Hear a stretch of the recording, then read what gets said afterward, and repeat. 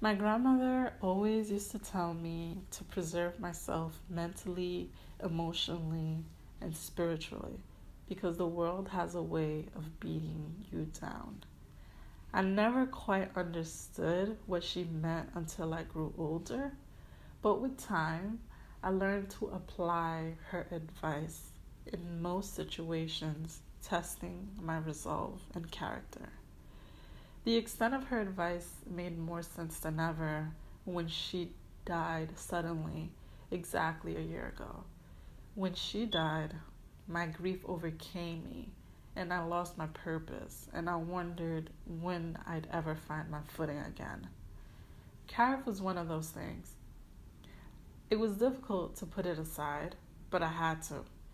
Ever since its inception in 2013, Kar'if was not only my brainchild, but my daily source of inspiration.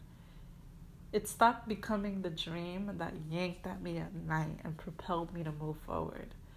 My dream of creating a digital experience that would leverage community based opinion and refine beauty expertise to create personalized curation was a reality that I just had to suspend in time.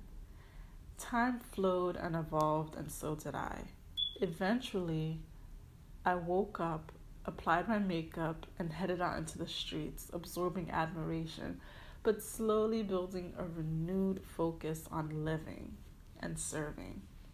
So here we are, a year later, with a much clearer mind and a vision greater than ever before. To get lost is to learn the way, is as one African proverb says it, and it's true. The goal continues to build the most comprehensive guide to brown beauty, ingenuity, and culture the preservation my grandmother spoke of turned into perseverance, which became the main reason I remained committed to elevating the stories of the beauty brands that create products that speak to our individuality and our aspirations in life.